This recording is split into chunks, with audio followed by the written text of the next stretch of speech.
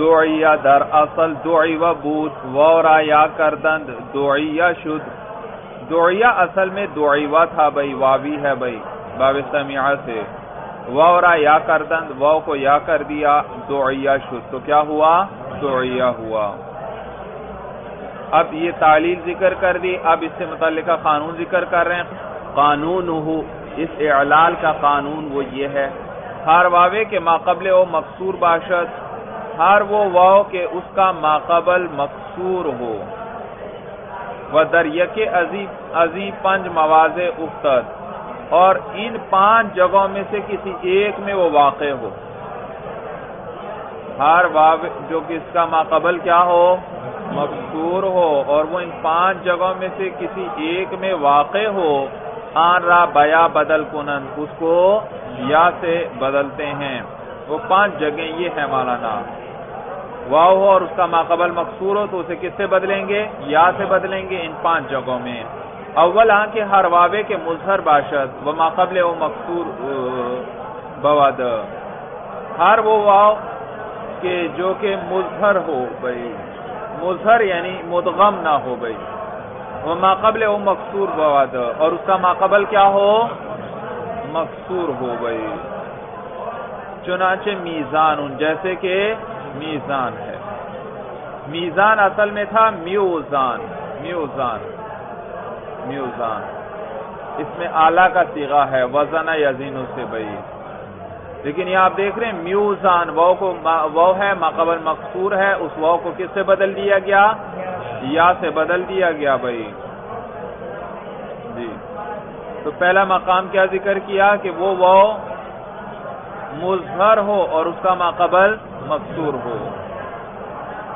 جیسے کہ میزان ہے، کما مرہ، جیسے کہ گزر گیا بھائی۔ مثال کے اندر انہوں نے یہ بات ذکر کی تھی بھائی، میزان کی بات۔ بھائی، یہی ضابطہ ذکر کیا تھا۔ وہ ماقبل مقصور تھا، اس کو کس سے بدل دیا گیا؟ یا سے، لیکن مدغم ہو تو پھر نہیں بدلیں گے، جیسے اجلی واز۔ اجلی واز۔ تو واؤ سے ماقبل کسرا ہے، لیکن یہ واؤ مدغم ہے، لہذا اس کو یا سے نہیں بدلیں گے بھائی۔ تو یہ پہلی جگہ کہ واؤ مظہر ہو مالانا دوم آنکھ بجائے لام کلمہ بوت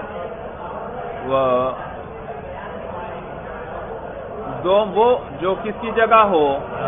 لام کلمہ کی جگہ ہو۔ وہ ماقبل او مقصور، اور اس کا ماقبل مقصور ہو۔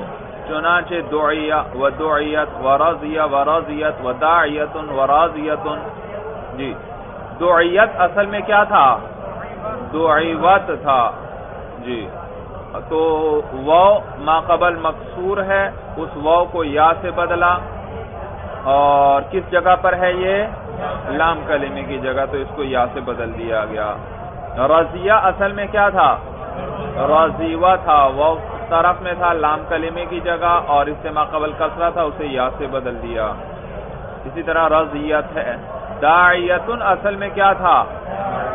داعیوتن۔ جی اسی طرح راضیتن اصل میں کیا تھا؟ راضیوتن، تو وہ ماقبل کسرا تھا اور یہ وہ لام کلمے کی جگہ تھا، تو اس وہ کو کس سے بدل دیا گیا؟ ما قبل کسرے کی رعایت رکھ کرتے ہوئے یا سے بدل دیا گیا، تو راضیتن اور داعیتن ہوا۔ سوم، آن کے ہر واوے کے در مصدر پود ہر وہ واو جو کہاں پر ہو؟ مصدر میں۔ وہ ماقبل او مقصور بواد اور اس کا ماقبل کیا ہو؟ مقصور ہو۔ وہ در فیل او بسلامت نہ ماندہ باشد اور اس کے فیل میں بھی وہ وہ سلامت نہ رہا ہو گئی فیل میں بھی تعلیل ہوئی ہو اور پھر مصدر کے اندر وہ واؤ آئے اور اس سے ماقبل کسرا ہو۔ تو فیل میں تعلیل ہوئی ہے تو لہذا مصدر میں بھی کیا کریں گے؟ اعلال کریں گے بھائی چنانچہ قام قیامن قام اصل میں کیا تھا بھائی؟ قوامہ تھا بھائی۔ تو اس واؤ کو علی سے بدلا گیا۔ تعلیل ہوئی ہے یہاں پر۔ لہذا اعلال ہوا ہے۔ تو قیامن یہ اصل میں کیا تھا؟ قیوامن تو فیل کے اندر چونکہ اعلال ہوا تھا، لہذا مستر میں بھی اعلال کیا وہ کو یا سے بدلا گیا۔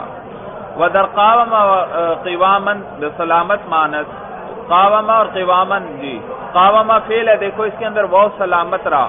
تو قوامن مصدر کے اندر بھی وہ کے اندر اعلال نہیں کیا۔ تو ان کے اندر وہ سلامت رہا زیران چے در فیل ہے، وہ بسلامت مانداز اس لیے کیونکہ اس کے فیل کے اندر وہ سلامت رہا ہے۔ اما حال حیولن شازت باقی حال حیولن یہ شاز ہے۔ حالہ دیکھو، ماضی کے اندر اعلال ہوا ہے۔ حوالا وہ متحرک ما قبل فتحہ تھا، اس کو کس سے بدلا؟ الف سے حالہ ہوا۔ لیکن اس کا مصدر جو ہے حیوالن۔ اب دیکھیے وہ ہے ما قبل کسرہ، اس کو یا سے بدلنا چاہیے تھا، لیکن اس کو اور فیل میں بھی تعلیل ہوئی ہے، شرطی پوری ہے، لیکن اس کو اس واؤ کو یا سے نہیں بدلا گیا۔ جواب، کیا وجہ ہے؟ جواب دے رہے ہیں شاز یہ کیا ہے؟ شاز ہے خلاف قیاس ہے یعنی نہیں جی۔ ہونا تو ضابطے کے مطابق چاہیے تھا، لیکن عربوں سے ہم نے اسی طرح سنا ہے، وہ اسی طرح استعمال کرتے ہیں۔ تو یہ قانون کے خلاف ہوا، البتہ استعمال کے اعتبار سے صحیح ہے۔ تو خلاف قانون ہونے کا یہ مطلب نہیں کہ یہ درست نہیں ہے۔ ہاں عرب اسی طرح استعمال کرتے ہیں، یہ اسی طرح درست ہے۔ ہاں لیکن قانون کے تحت نہیں آیا، تو کیا کہیں گے؟ شاذ ہے، خلاف القیاس ہے۔ چہارم آنکھ ترجمہ باشد و در وحدان او بسلامت نہ ماندہ باشد۔ چوتھا وہ وہ ہے جو کہ جمع کے اندر ہو اور اس جمع کے واحد وحدان جمع ہے واحد کی۔ اس کے جو واحد ہیں ان کے اندر وہ وہ سلامت نہ رہا ہو۔ یعنی مفرد کے اندر وہ وہ بدلا ہو اور جمع کے اندر آ جائے وہ وہ اور ماقبل کیا ہو؟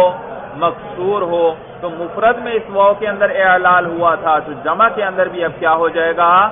اعلال ہوگا۔ چنانچہ دیار جیسے کہ دیار ہے ہمارا نام دیار بھائی۔ دیار جمع ہے دار کی بھائی، دار کی۔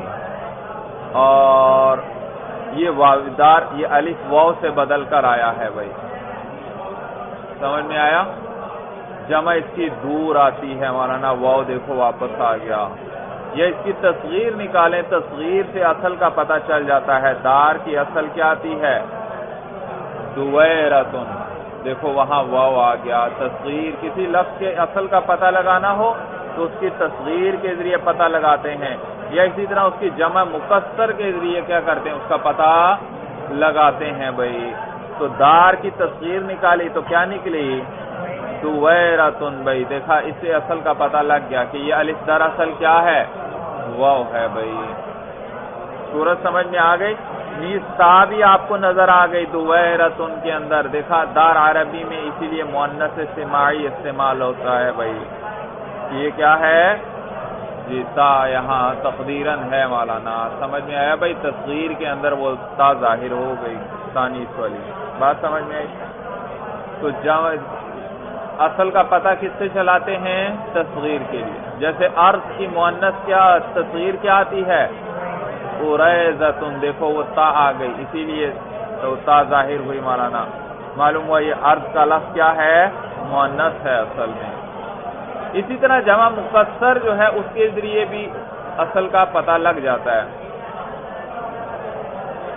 اصل کا پتہ لگ جاتا ہے۔ جیسے دینار ہے، دینار۔ اس کی اصل کیا تھی؟ دنانیر۔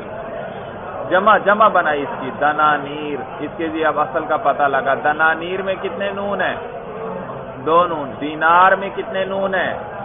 ایک نون ہے۔ معلوم ہوا یہ جو دینار میں یا آئی، یہ بھی دراصل نون تھی۔ یہ تھا دراصل دن نار کیا تھا؟ دن نار تھا بھائی۔ کس سے پتا لگا آپ کو؟ جمع مقصر دنانیر سے پتہ لگا اور دو حرف ایک جنس کیا ہے تو عربی میں کبھی کبھار ایسا کرتے ہیں۔ ایک حرف کو کیا کر دیتے ہیں؟ حرکت کے موافق حرف علت سے بدل دیا جاتا ہے تو دینار ہوا بھائی۔ خفیف بنانے کے لیے۔ سورج سمجھ میں آ گئی بھائی؟ جی تو کہتے ہیں چوتھی جگہ وہ ہے کہ جہاں پر وہ جمع کے اندر ہو اور اس کے واحد کے اندر وہ وہ سلامت نہ رہا ہو، تو واحد کے اندر اعلال ہوا، جمع کے اندر وہ آیا ما قبل کسرا ہے، تو اس وہ کے اندر بھی کیا کریں گے؟ اعلال کریں گے، چنانچہ دیار، اصل میں کیا تھا؟ دیوار، کیا تھا؟ دیوار یہ واو کس سے بدل دیا؟ ما قبل کسرے کی وجہ سے یا سے بدلا، کیونکہ شرط پوری تھی۔ شرط کیا کہ اس کے واحد کے اندر کیا ہوئی ہو؟ اعلال ہوا ہو اور واحد کے اندر دار کے اندر وہ الف سے بدلا ہے، اعلال ہوا ہے۔ تیارتن جمع تارتن بھائی۔ تیارتن اصل میں کیا تھا؟ تیواراتن یہ یا واو تھی بھائی۔ تو دیکھو، مفرد کے اندر تارتن میں یہ واو الف سے بدلا ہے اعلال ہوا ہے۔ تو تیارتن میں بھی اعلال کیا اور واو کو یا سے بدلا گیا۔ کہتے ہیں چنانچہ دیار و تیارتن جمع دار و تارتن۔ جی۔ ودر تیوال ان جمع طویل بسلامت بھائی تیوال دیکھو واو آیا واو سے ما قبل کسرہ ہے جمع کے اندر۔ اس کو کس سے بدلنا چاہیے؟ یا سے لیکن نہیں بدلا گیا۔ کیوں نہیں بدلا؟ کہتے ہیں شرط نہیں پوری۔ ہم نے کیا شرط ذکر کی تھی؟ کہ اس کے مفرد، اس جمع کے مفرد میں واو کے اندر اعلال ہوا ہو، لیکن اس تیوال کے مفرد میں اعلال نہیں ہوا۔ تیوال کا مفرد کیا ہے؟ طویل۔ طویل میں دیکھو واو میں کوئی اعلال ہوا۔ نہیں، وہ اسی طرح موجود ہے بھائی۔ تو مفرد میں اعلال نہیں، لہذا طوال جمع کے اندر بھی اعلال نہیں ہوگا بھائی۔ تو کہتے ہیں، ودر طوال ان جمع طویل ان طوال جو کہ جمع ہے طویل کی بسلامت ماند اس کے اندر وہ سلامت را زیرانچے در وحدان او بسلامت مانداس اس لیے کیونکہ اس کے واحد کے جو ہیں، ان کے اندر یہ وہ سلامت رہا ہے۔ پنجم آن کے ہر واوے کے در جمع باشد۔ پانچواں وہ پانچویں وہ جگہ ہے کہ ہر واوے کے در جمع باشد، ہر وہ واو جو کہ جمع کے اندر ہو۔ وہ در وحدان ساکن بوت اور واحد میں کیا ہو؟ مفرد میں؟ ان کے مفرد میں ساکن ہو۔ جی۔ وباد ہو الف جمع باشد۔ اور اس جمع وباد اس کا عطف ہے مولانا، ودر وحدان۔ ودر وحدان۔ اس کو ہٹائیں اور اس کی جگہ ذرا یہ رکھیں۔ ہر واوے دوبارہ عبارت پڑھو۔ ہر واوے کے در جمع باشد۔ ہر وہ واو جو کس میں آئے؟ جمع میں آئے۔ جی اس کے بعد کیا عبارت آ گئی؟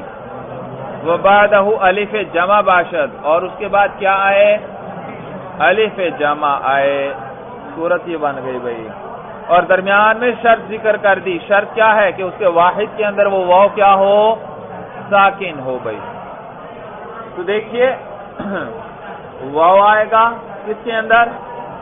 جمع کے اندر۔ اور ماقبل کیا ہوگا؟ مقصور بھائی۔ واو تو یہ بات تو شروع سے ذکر کر دی۔ ماقبل کیا ہوگا؟ مقصور۔ واو آیا، جمع کے اندر آیا، اس کا ماقبل مقصور ہے۔ اور اس واو کے بعد کیا آیا؟ الف جمع۔ کیا آیا؟ الف جمع۔ تو اس واو کو کس سے بدلیں گے؟ یا سے بدلیں گے؟ بشرتے کے۔ اس کے واحد کے اندر وہ واو ساکن موجود ہو واحد کے اندر وہ واو ساکن موجود ہو۔ یہ شرط ہے۔ سورج سمجھ میں آ گئی؟ کیا سورج ذکر ہوئی؟ واو کہاں پر ہو؟ جمع کے اندر۔ واو کا ما قبل کیا ہو؟ مقصور یہ تو سب تمام جتنی پانچوں قسمیں ہیں سب میں ذکر ہوا واؤ ہے اور ماقبل کیا ہے؟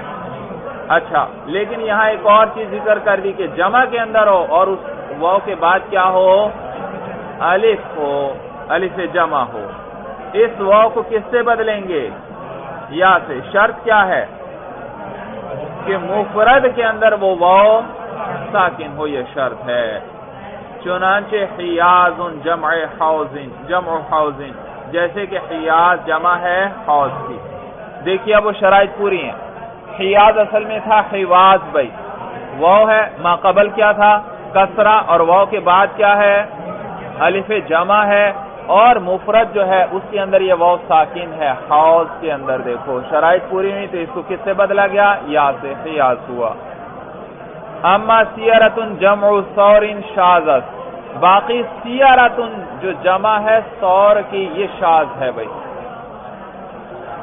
سیارتن اصل میں کیا تھا؟ سیوارتن۔ کیا تھا؟ سیوارتن۔ اچھا اب اس کے اندر شرط پوری نہیں ہے۔ شرط یہ تھی کہ اس واو کے بعد الف جمع ہو، لیکن سیواراتن میں تو واو کے بعد الف جمع نہیں ہے۔ ہاں باقی شرطیں پوری ہیں۔ واو تھا، ما قبل کسرہ بھی ہے اور مفرد کے اندر بھی وہ واو ساکن ہے، لیکن صرف کون سی شرط پوری نہیں کہ واو کے بعد الف جمع نہیں ہے۔ تو لہٰذا اس کو بدلنا نہیں چاہیے تھا، لیکن بدلا گیا۔ بتلایا گیا، یہ کیا ہے؟ شاز ہے، خلاف القانون کے خلاف ہے بھائی۔ تو کہتے ہیں، سیارتن جمع سور شہادت ادعو دراصل ادعو بود۔ ادعو اصل میں کیا تھا؟ جی اب اور سیغا ذکر کیا بھائی، تعلیل اب اس کی اعلال ذکر کریں گے بھائی۔ ادعو دراصل، ادعو بود، ادعو اصل کے اندر ادعو تھا۔ وورا حذف کردند وو کو کیا کیا گیا؟ وو کو حذف کر دیا۔ ادعو شد بھائی۔ کیا ہوا؟ ادعو۔ یہ تو اعلال ذکر کر دیا۔ اب اعلا قانون ذکر کر رہے ہیں۔ قانون ہو اس اعلال کا قانون بھائی۔ مصنف کا طریقہ ہے، پہلے ایک سیغے کا اعلال ذکر کرتے ہیں اور پھر اس سے متعلقہ قانون۔ کہتے ہیں، ہر واوے و یائے کے برطرف باشد، ہر وہ اور یا جو کہ ایک طرف میں ہو، در جزم و امر ساقط شود۔ جزم اور امر کے اندر وہ اور یا کیا ہو جائیں گے؟ ساقط ہو جائیں گے بھائی۔ سورج سمجھ میں آ گئی اور یا طرف میں ہوں، جزم اور امر میں کیا ہو جائیں گے؟ ساقط۔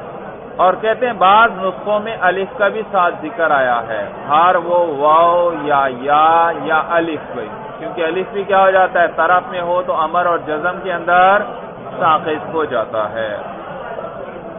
یا اسی کے اندر قید مان لے مولانا۔ ہر واؤ اور یا جو اصلی ہوں، کیا ہوں؟ ہاں، ہر واؤ تو وہ الف بھی، الف تو آتا ہی نہیں ویسے، وہ دراصل کس سے بدل کر آتا ہے؟ واؤ اور یا سے بدل کر آتا ہے فیل کے اندر بھائی۔ سمجھ میں آیا بھائی؟ تو الف اصل نہیں ہوگا۔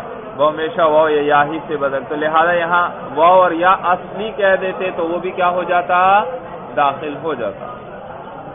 تو کہتے ہیں ہر وہ اور یا کے ایک طرف کے اندر اور جزم اور جزم اور امر کے اندر وہ ساقط ہو جائیں گے، چنانچہ لم یدعو، دیکھو وہ گر گیا آخر سے، ولم یرمی، کیا گری آخر سے؟ یا گری جزم کی وجہ سے، ولم یقشا یہاں کیا گرا ہے؟ الف گرا ہے، لیکن یہ الف کیا تھا؟ اصل میں یا تھی، خشیا یقشا تو یہ یا تھی۔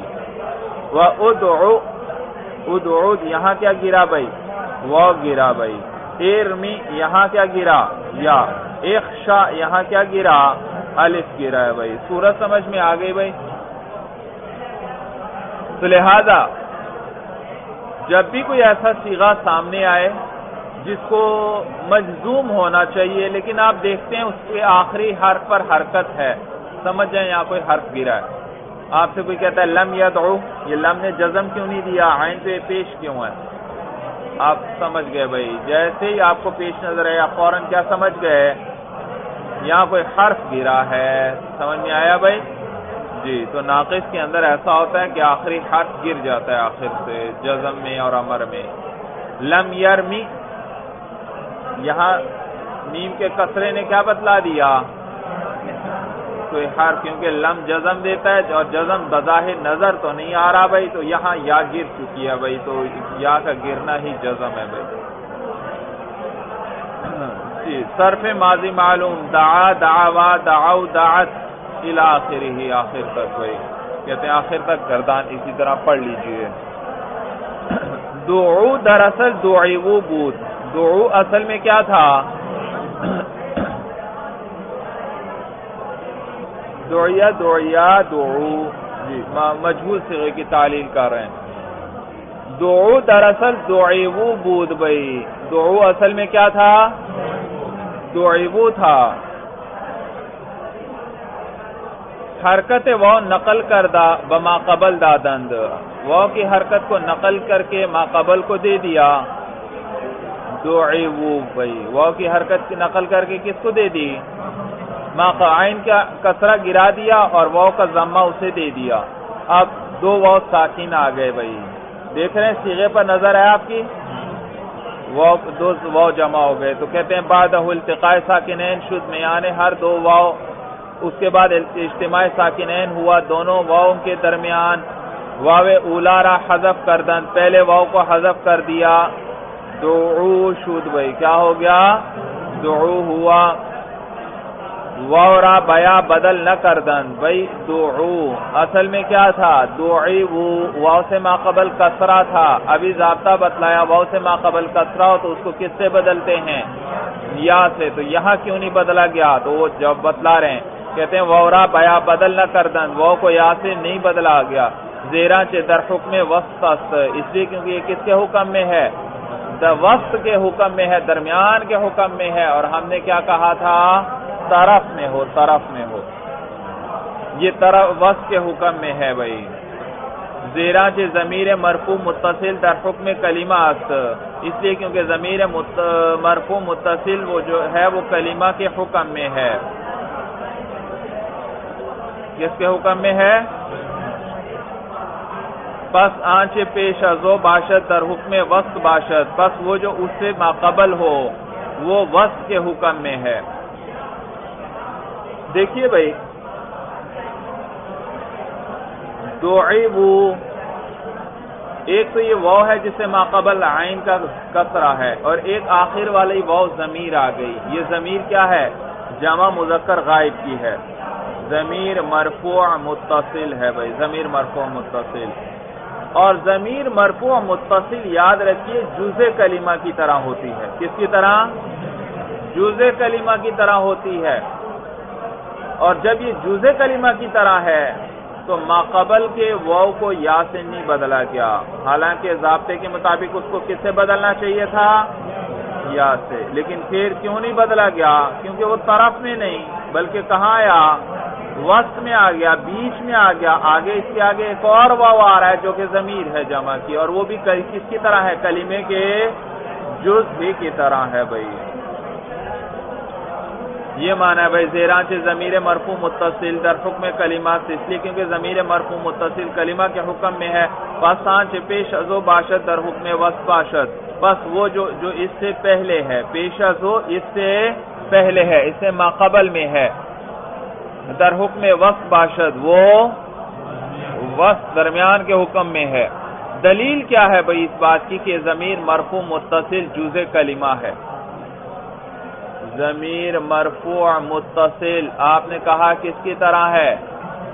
جز کلمہ کی طرح۔ ہے بھائی جز کلمہ کا یہ تو ایک الگ چیز ہے جو فیل کے ساتھ آ کر جڑی ہے، تو اس کو الگ کلمہ شمار کرنا چاہیے۔ کہتے ہیں، نہیں بھائی، یہ جز کلمہ کی طرح ہے۔ اور اس کے بہت سے دلائل ہیں بھائی۔ ایک صاحب کتاب ذکر کر رہے ہیں بھائی۔ سمجھ میں آئی بات؟ ایک صاحب کتاب۔ دلیل یہ ذکر کریں گے۔ کہ بھائی اس ضمیر مرفوع متصل کے ساتھ کبھی ضمیر منصوب متصل بھی آ جاتی ہے۔ ذراب تو کون سی ضمیر ہے ساتھ؟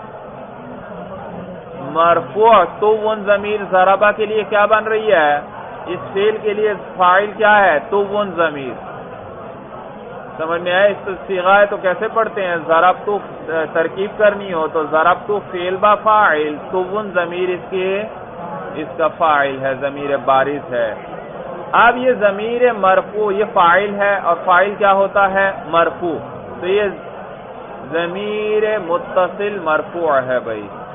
اس کے ساتھ ضمیر منصوب متصل آ جاتی ہے یعنی مفعول کی ضمیر۔ مثلا میں کہتا ہوں زارب تو کا یا زارب تو یہ کون سی ضمیر ساتھ آ گئی؟ منصوب زارب تو کا کیا ترجمہ ہوا؟ میں نے آپ کی پٹائی کی۔ تو یہ کاف ضمیر مخاطب کی یہ مفعول واقع ہوئی۔ اور مفعول کیا ہوتا ہے؟ منصوب۔ تو یہ ضمیر منصوب متصل آ گئی ساتھ۔ پہلی کیا تھی؟ مرفوع متصل فائل کی ضمیر تھی۔ دوسری ہے منصوب متصل، مفعول کی ضمیر ہے۔ اب کہتے ہیں یہ جائز نہیں ہے کہ منصوب متصل کو پہلے لے آؤ اور مرفوع متصل کو اس کے بعد لے جاؤ۔ کیا کرو؟ ہاں مرف۔ یہ کسی صورت میں جائز نہیں ہے کہ حالانکہ دونوں متصل ضمیریں ہیں، لیکن منصوب متصل، وہ جز کلمہ کی طرح نہیں ہے۔ لیکن مرفوع متصل، وہ کس کی طرح ہے؟ جز کلمہ کی طرح ہے۔ حتیٰ کہ منصوب متصل کے ذریعے بھی یہ کلمے سے جدا کرنا اسے جائز نہیں۔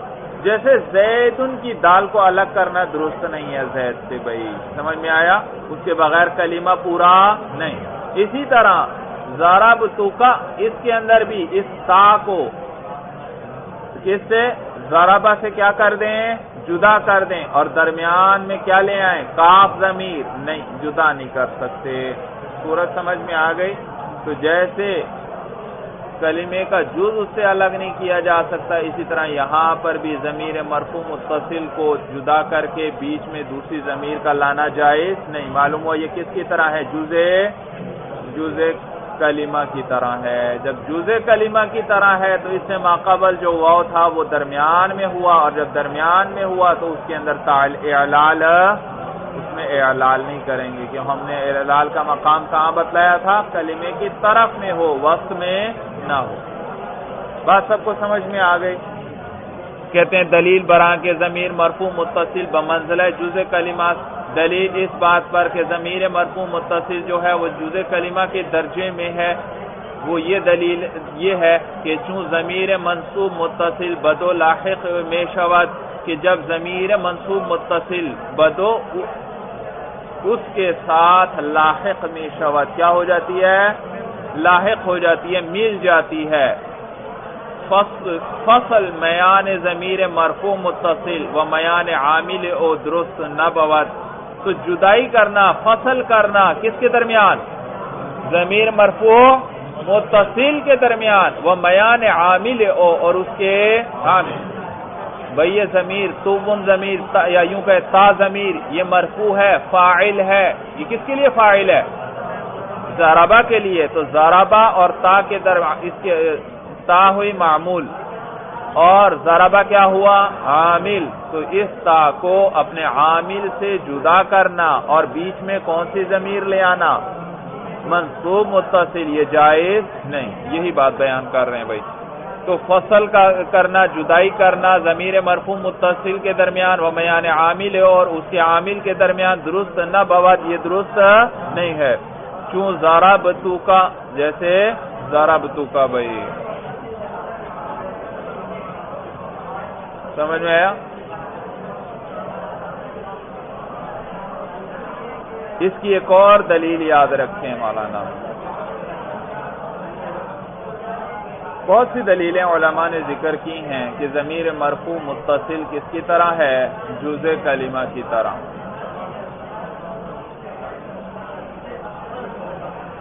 ایک اور دلیل دلچسپ ہے، ذرا وہ آپ کو بتلا دیتا ہوں۔ بھائی دیکھو ایک کلمہ ہو تو اس کے ساتھ یا نسبت ملا دی جاتی ہے، یا مشدد، نسبت کے لیے۔ جیسے لاہوری یون لاہور کیا ہے؟ ایک کلمہ، اس کے ساتھ کیا کر دی گئی؟ یا نسبت کی ملا دی گئی، یا مشدد لاہوری یون کیا مانا؟ لاہور والا، لاہور کی طرف منصوب، بھائی، جو چیز بھی لاہور کی طرف منصوب ہوگی، اسے کیا کہیں گے؟ لاہوری یون بھائی صورت سمجھ میں آ گئی۔ اور یہ یا مشدد یعنی یہ جو یا نسبت ہے، مفرد ایک کلمے کے آخر میں آتی ہے، بھائی، سمجھ میں آئے جملے کے آخر میں نہیں۔ اچھا۔ تو جملے کے آخر میں نہیں آئے گی۔ تو لیکن یہاں پر ضمیر مرفوع کے ساتھ سکیا کو ملایا جاتا ہے۔ مثلا یاد رکھیے، قدیم زمانے میں بوڑھے کو کنتی یون کہتے تھے۔ کیا کہتے تھے؟ کنتی یون اب یہ وہی سیکھا کنتو کنتو کانا یا کونو سے کنتو۔ دیکھو، ضمیر مرفوع متصل اس کے ساتھ ہے، لیکن پھر بھی اس کے ساتھ کیا ملا دی گئی؟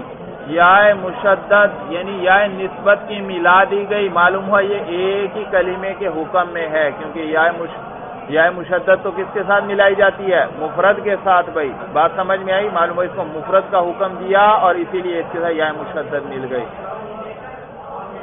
تو بوڑھے کو کنتی یون کہتے تھے بھائی۔ اس لیے کیونکہ بوڑھا اکثر ایسی باتیں کرتا ہے، وہ کہتا ہے کن تو کافی شبابی کن تو کافی سے جوانی میں میں ایسا تھا، جوانی میں میں ایسا تھا بھائی۔ تو وہ کنتو کا لفظ کثرت سے استعمال کرتا ہے، اس لیے اس کا نام ہی کیا رکھ دیا گیا؟ کنتی یون بھائی۔ اسی سے ہے جیسے طالب علم کو ماتقول کہا جاتا تھا۔ کیا کہتے تھے؟ ماتقول۔ کیونکہ طالب علم جب بھی بیٹھتے، دو طالب علم کسی مسئلے پہ تکرار شروع کرنے لگتے تو کہتے تھے، ما تقول فی هذه المسئلتی تم کیا کہتے اس مسئلہ کے بارے میں؟ آپس میں بحث، مباحثہ کرتے، سبق یاد کرتے تھے۔ جو بھی مسئلہ شروع کرنے لگے ہاں بھائی، ما تقول فی هذه المسئلہ؟ آپ اس مسئلے کے بارے میں کیا کہتے ہیں؟ وہ تقریر کرتا، دوسرا اعتراض کرتا اور اس طرح بحث ہوتی تھی تو چونکہ ایک لفظ تھا چونکہ یہ لفظ جو ہے ماتقول وہ کثرت سے استعمال کرتے تھے تو نام ہی کیا پڑ گیا؟